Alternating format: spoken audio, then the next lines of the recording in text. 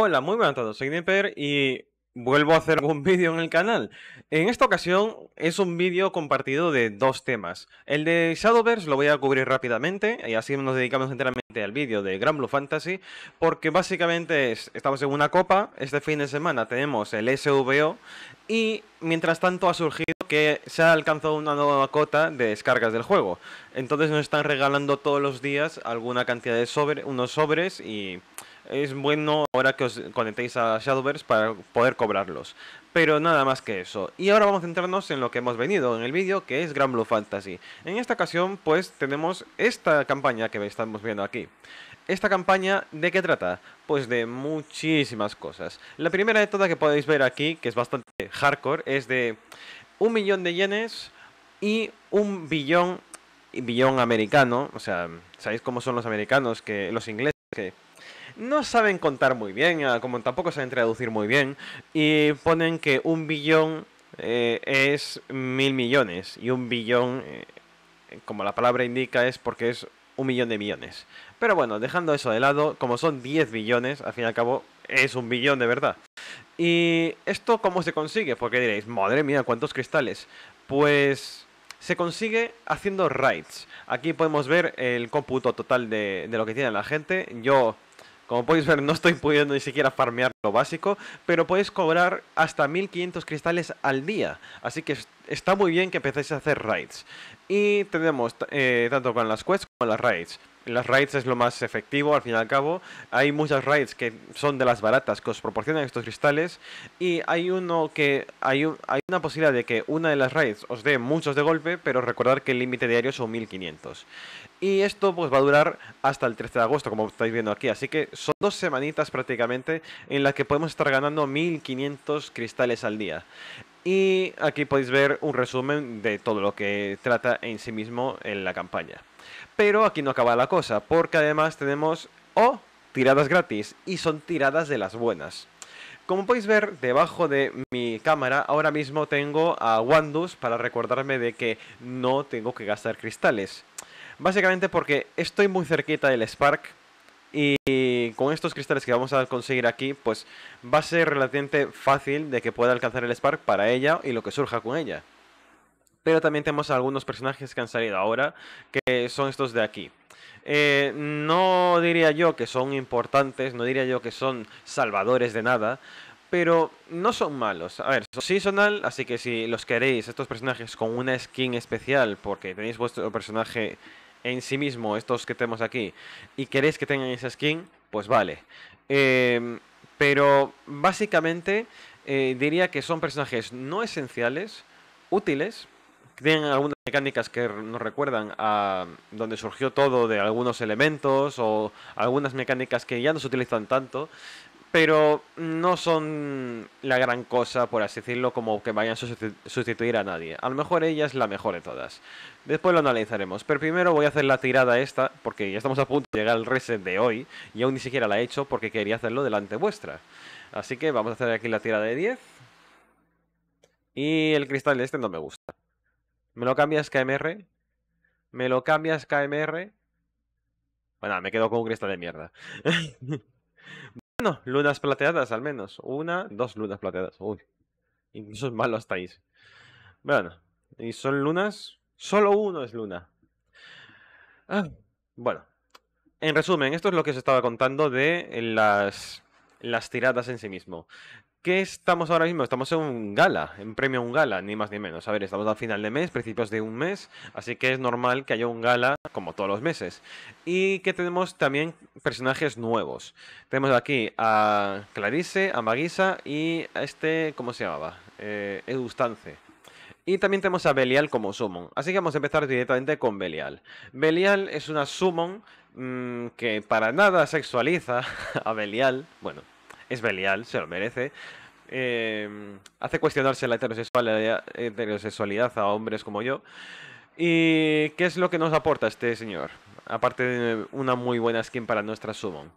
Eh, es una summon de fuego, cosa que difiere de cómo era él originalmente. Y nos capea la vida máxima. Pero también eh, nos hace de que no podamos sufrir más de 5000 de daño cuando está un capeado al máximo, o sea, con 4 estrellas. De esto básicamente es como el Belial normal y demás. Si no lo tienes un capeado, te vas a comer un mojón.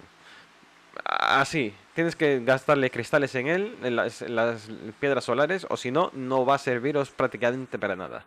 Eh, su cal, pues no diría yo que es nada importante en general. Eh, aporta buffos, randoms, eh, hace un poquito de daño, no demasiado. Y pone charm, o sea, puede estudiar el enemigo, por así decirlo. Pero no es la gran cosa. A lo mejor su summon, su sub por esto de que empiezas la partida con counter y tienes daño suplemental en el counter, esto con algunos, algunas composiciones de otros elementos puede ser útil. Recordemos que es una sub-aura, así que no nos importa eh, el elemento, simplemente nos importaría la habilidad. Así que en sí mismo no es una suma mala. Si no os importa el tema de tener capeada la vida en este sentido de 20.000, que es poquito, y lo único que recibiréis daño de 5.000 en 5.000 y eso puede estar muy bien. Pero recordar, ahora mismo hay muchas cosas que tienen multi-hits y como no tengáis Garrison os va a doler, os va a doler bastante.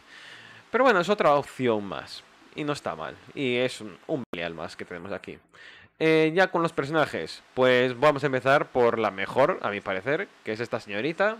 Esta señorita es la tatara sobrina de Cagliostro, así que es una elementalista, una alquimista, mejor dicho. Es staff, es agua y es de esta campaña de verano, como todos los que vamos a ver. O sea, solo los podéis conseguir en este banner y en los banners que están hasta septiembre. ¿Qué es lo que tiene esta señorita? Bueno, primero su pasiva. Cuando Clarice es un personaje en la parte principal, cuando empieza la batalla, entonces al protagonista le da unos buffos bastante interesantes. Ataque, vida y damage cap. El damage cap nunca está nada mal y mm, no se quita este bufo aunque ella sea eliminada. Eso está muy bien porque indica de que es no se puede quitar el bufo.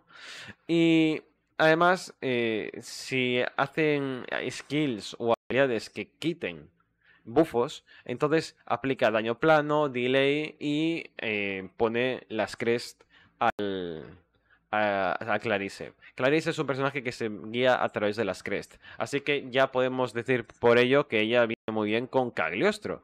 Cosa que está perfectamente explicada por porque son familia. Y por fin están juntas en su bañador. ¿Y qué hace ella como personaje? Aparte de unos buffos interesantes y de que aún encima si llevamos la espada de Astra como arma principal, estamos haciendo Dispel Así que ahí entraría la cosita, muy muy bien. Eso junto de que vayamos con, con la espada de Astra. Lo único que, claro, iríamos a Berserker o Vikingo, más bien Vikingo diría yo. Incluso podríamos en Glorybringer, pero teniendo esto, yo creo que y Vikingo estaría bastante bien. No podemos ir Kengo, en ese sentido, si queremos llevar a la espada de Astra como arma principal, porque no es una katana, pero bueno, eh, una cosa u otra. Eh, ella en sí misma, pues podemos ver aquí que hace daño masivo, no está mal. Eh, hace, pone un debuffo a la defensa y al ataque. Y aún encima se gana una crest. Esto ya veis que va a acumular muchas crest. ¿Por qué? Porque la primera habilidad, si tiene 5 crest, hace un efecto extra.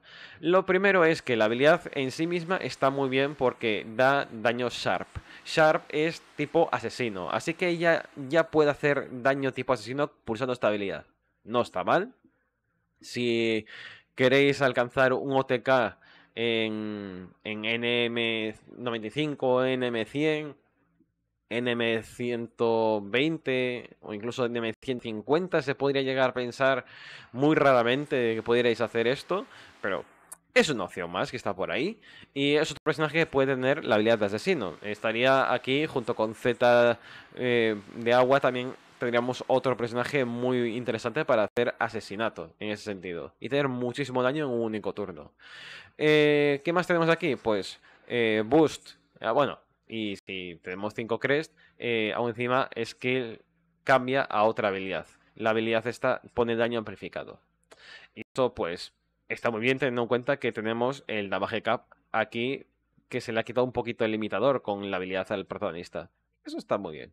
Eh, boost al, al caster y al protagonista para hacer triple ataques durante un turno, cosa que va muy bien con esto de aquí. Y estaríamos dándole el bufo también al protagonista. Así que por eso digo lo de ir con Vikingo, porque Vikingo tiene unos ataques muy, muy potentes.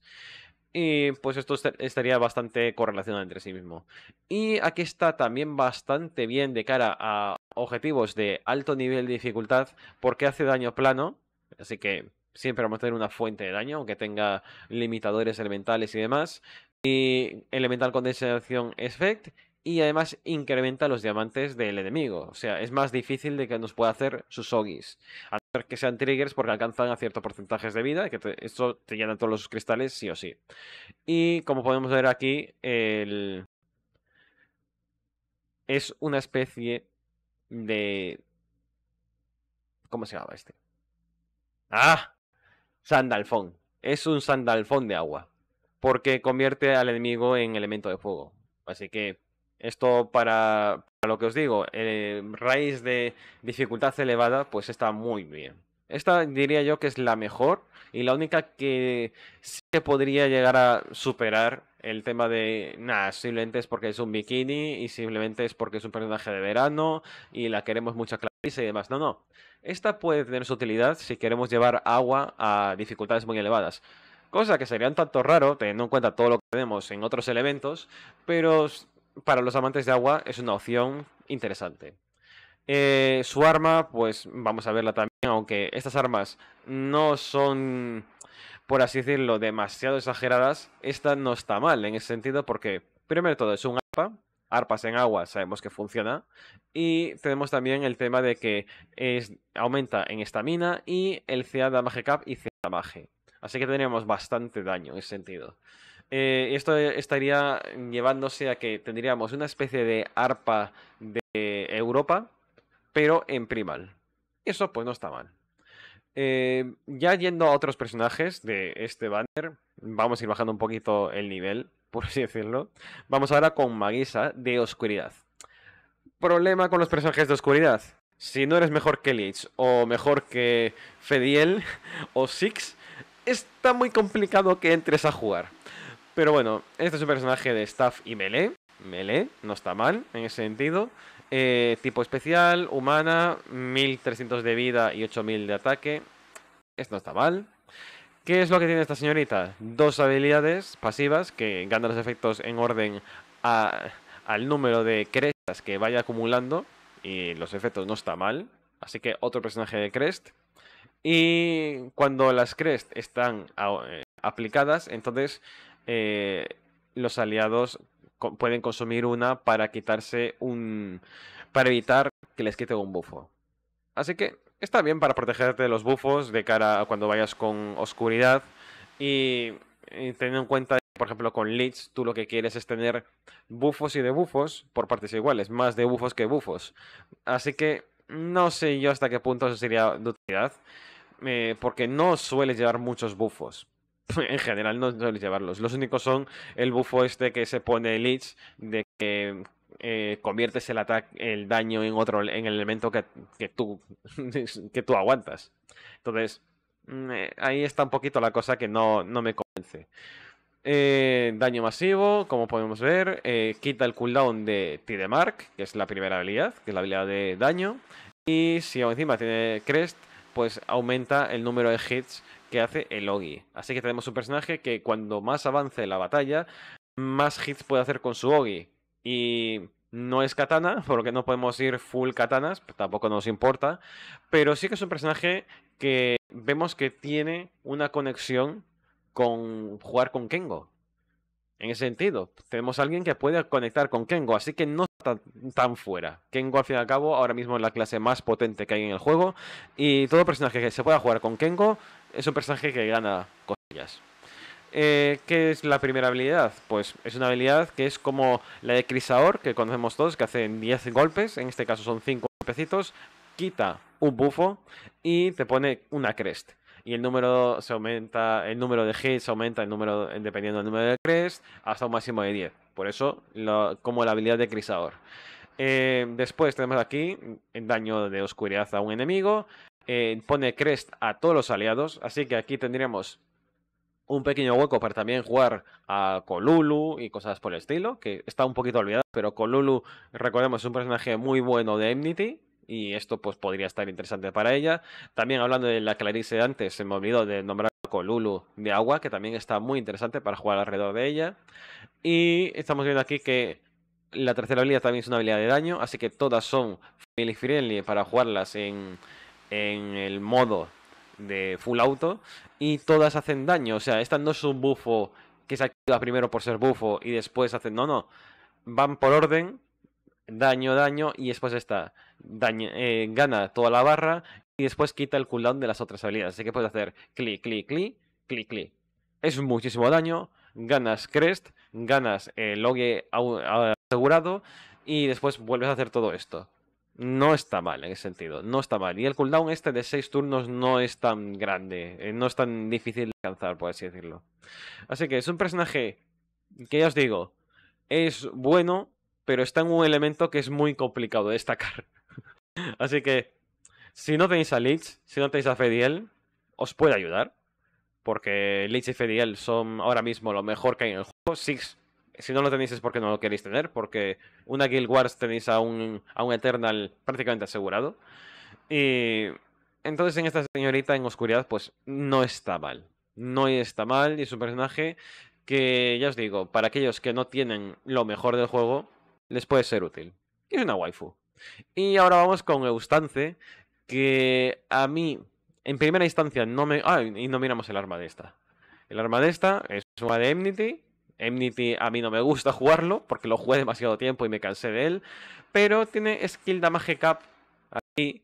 Y si tenemos, por ejemplo, Garrison en, en, el, en la Will y tenemos a Lich, podemos sacarle partido a esto. Aparte de que ella también hace mucho daño de skill damage. Así que, mm, incluso en un equipo full de skill damage, podríamos tener Lich, Fediel y, y Magisa, era, ¿no? Magisa, creo que sí podríamos tener a estos tres personajes hacer mucho skill damage. Ahí podríamos incluso dejar caer que pudiéramos ir con. con el. como el. con la clase de mago.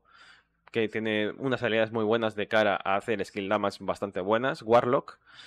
Y ahora pues vamos con el que yo me pareció que es el peor, que en este caso es Eustance de verano. Tiene un perrete y es un personaje de tipo ataque, daga pistola. A ver, si él no tuviera pistola, es directamente qué haces sigues con tu vida.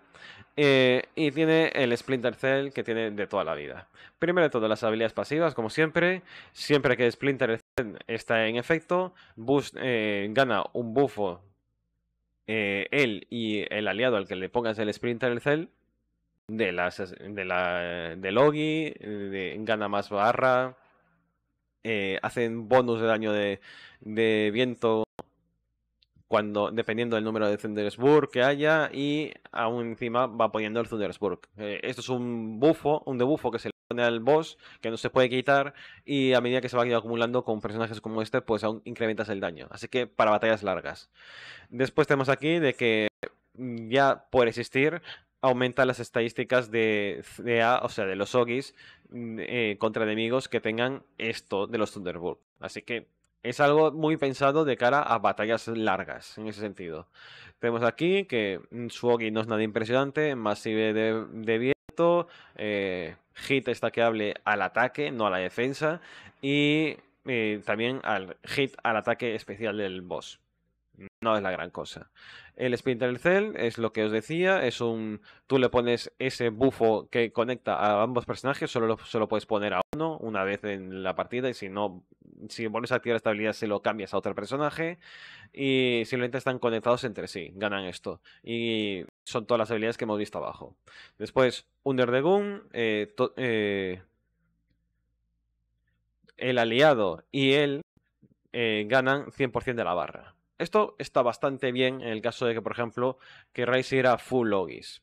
Eh, hay un equipo que tengo yo que voy a, haces muchísimos ogis, que es con el protagonista, obviamente, con 7, que yo lo tengo a nivel 100, y también tengo a Sarasa. Sarasa es como le llamaron los ingleses, Katura, que es la, la zodiacal de la vaquita. Ella también va mucho de Ogis y con los Ogis va reduciendo el cooldown de sus habilidades. Entonces con esto podríamos hacer muchos Ogis alrededor de que tenemos a 7 que pone barra a todo el mundo. Él hace Ogis muy frecuentemente. Tenemos eh, eh, con la vaquita también hace Ogi el protagonista y ella. Y con esto podríamos hacer más Ogis. Así que podríamos estar haciendo Ogis con una frecuencia muy salvaje. Y eso estaría muy bien de cara a aumentar las probabilidades de que podamos usar la segunda habilidad de, de Satora.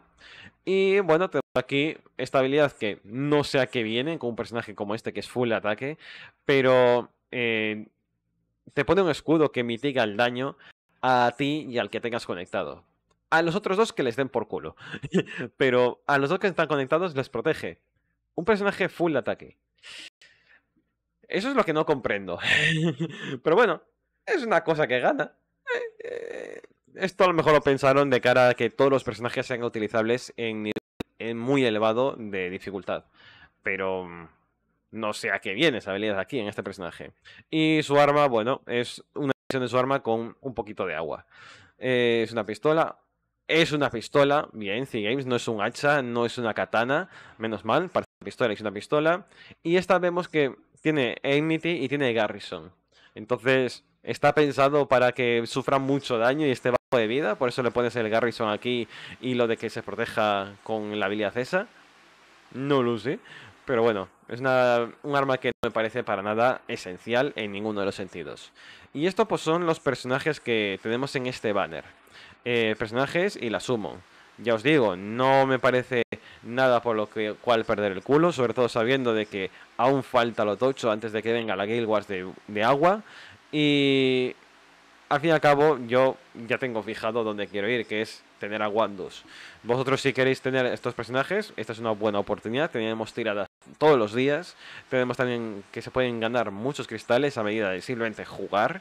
Así que es un buen momento para volver a reactivaros Gran Blue Fantasy en caso de que lo hayáis dejado porque estamos en verano. Y comprendo que hay gente a lo mejor que tiene temas familiares, que se va a la playa y, o que tiene vida social, cosa que yo he hecho un poquito de menos desde que soy adulto, pero es un buen momento para, para, este tipo de regalitos que nos proporciona KMR, como todos los veranos.